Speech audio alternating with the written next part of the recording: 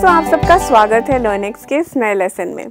मैं हूँ आपकी ट्रेनर जेनी और आज हम सीखेंगे कि कैसे बता सकते हैं हम अपने दोस्तों को या जानने वालों को अपने देश, शहर या गाँव के बारे में। है ना मज़ेदार टॉपिक दोस्तों, हम में से कई लोग अपने सपनों को या ड्रीम्स को पूरा करने के लिए अपने होम टाउन को छोड़ कर निकलते हैं, ताकि हम मेहनत करके अपने एम्बिशंस को अचीव कर सकें। लेकिन फिर भी दूसरी जगह, कोई भी दूसरी जगह जब हम अपना होम टाउन छोड़ के जाते हैं तो हमें अपने घर की, या तो हमें अपने होम टाउन को लेके बहुत ही ज़्यादा याद आती है, हम बहुत इमोशनल हो जाते हैं। क्योंकि उस जगह से हमारी बचपन की यादें जुड़ी हुई होती हैं। इनफैक्ट हमें अच्छा खासा वहाँ पे वक्त जो गुजारा होता है तो वो सब फीलिंग्स बहुत ही स्पेशल होती हैं, है ना? और फ़र्ज़ कीजिए कि आपको सामने से किसी भी दोस्त या कलीग ने पूछ लिया, या तो किसी अनजान ने ही पूछ लिया कि आप कहाँ से हैं, तब तो हम इतने ज़्यादा उत्साहित यानी कि एक्साइटेड हो जाते हैं हम अपने होम टाउन के बारे में बताने के लिए, है ना? मेरे साथ तो अक्सर होता है, आई एम श्योर आप लोगों के साथ भी ये होता होगा। तो हम उन्हें अपने होम टाउन के बारे में कैसे बताएँ? और ये भी होता है कि अब हम उनकी भी स्टोरी सुनने के लिए एक्साइटेड रहते हैं तो ये कन्वर्जेशन शुरू होती है। तो फ्रेंड्स आज का हमारा टॉपिक यही है कि आप अपने होम टाउन के बारे में कैसे बता सकते हैं, या फिर किसी को भी, जो भी आपके दोस्त हैं या कलीग हैं, जो भी हैं, उनको जानकारी कैसे दे सकते हैं इंग्लिश में। हर बार की तरह इस बार भी मैं अपने पहले हिंदी के वाक्य बताऊँगी, फिर वही वाक्य मैं इंग्लिश में दोहराऊँगी। आप अच्छे से सुनिएगा और अगर कोई शब्द या तो किसी का अर्थ मिस हो जाए तो आप दोबारा पॉज करके, रोक करके दोबारा देख सकते हैं। चलिए तो फिर शुरू करते हैं हमारा लेसन हर किसी को अपने शहर से प्यार होता है। क्यों? Everybody loves their home town isn't it वो शायद इसलिए भी कि शायद यहीं आपने हर चीज़ पहली बार की थी या सीखी थी। That's because maybe you learn or did everything for the first time तो सबसे पहले मुझे घर के पास वाला जो एक पेड़ है, उसकी याद आती है। The tree near my home comes to my mind first of all when I think about my home town लोग वहाँ बसंत में बहुत सारी पतंगे उड़ाते हैं। People there fly a lot of kites in spring मैंने अपनी दसवीं कक्षा तक की पढ़ाई वहीं से की है। I study there till my matriculation मैंने साइकिल, मोटरसाइकिल और कार चलाना भी वहीं से सीखा।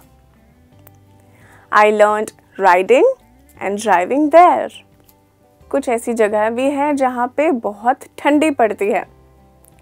तो तब आप कैसे बताएँगे अपने दोस्तों को? आप ऐसे कुछ बोल सकते हैं जैसे कि, सर्दियों में ठंड के मारे कुल्फ़ी जम जाती है। Chilling chilling winters freezers like ice cream तीन से चार रजाइयाँ लेकर हमें सोना पड़ता है।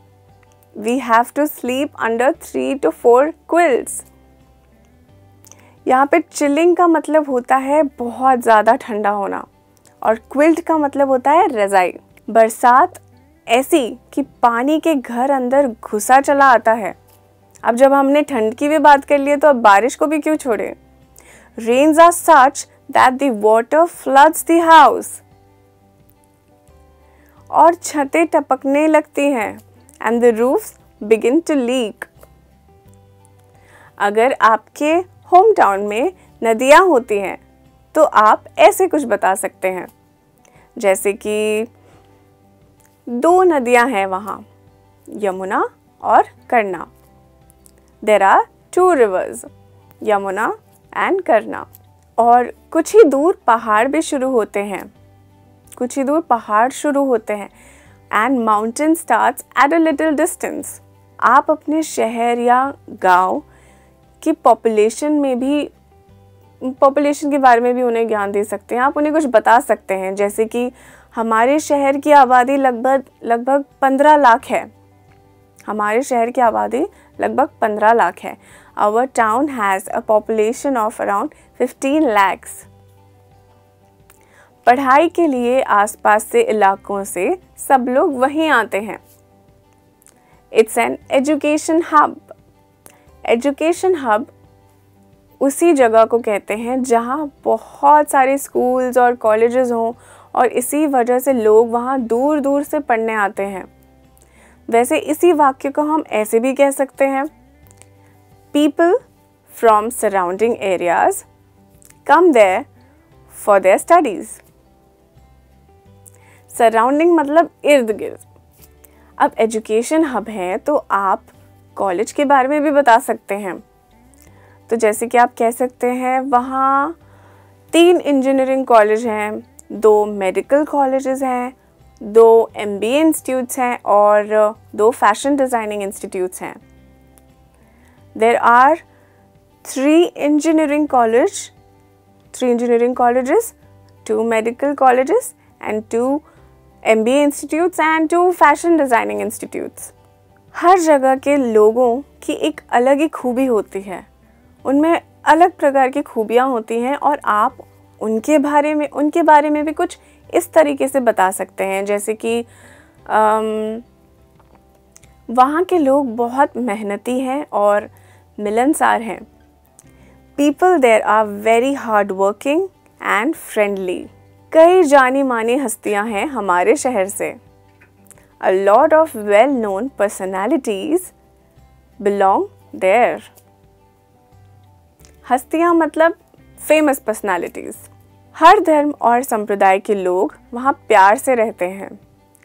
People from every religion and section coexist with love there coexist का मतलब होता है मिलजुल कर साथ में रहना। हर दूसरे घर से कोई ना कोई तो फौज में है ही। Every second house has someone in the army every second house has someone in the army वहाँ की औरतें भी कम नहीं हैं। Women there are also no less homemaker से लेकर साइंटिस्ट तक, वहाँ की औरतें हर फ़ील्ड में आगे हैं। From being homemaker to a scientist women, there are progressive in all the fields. Progressive का मतलब है अग्रणी, आगे बढ़ने की सोच रखने वाली। अब आपको अपने शहर में कौन कौन से काम होते हैं, वो कैसे बताने हैं? आप ऐसे कुछ बता सकते हैं। जैसे कि वो एक औद्योगिक शहर है। ज़्यादातर लोग व्यवसायिक हैं वहाँ पर। It's an industrial town most of the people are into business industrial मतलब औद्योगिक। खेल कूद का वहाँ बहुत बोलबाला है। Sports is a big thing in our town बोलबाला मतलब बिग थिंग मेरे शहर ने काफ़ी विख्यात खिलाड़ी दिए हैं। मेरे शहर ने कई विख्यात खिलाड़ी दिए हैं। My home town has produced some very well known sports persons वहाँ के लोग पैसे का आदर करते हैं, मगर उसके पीछे भागते नहीं हैं। People there respect money but never run after it लोग अपनी जड़ों से जुड़े हैं और रिवाजों का आदर करते हैं।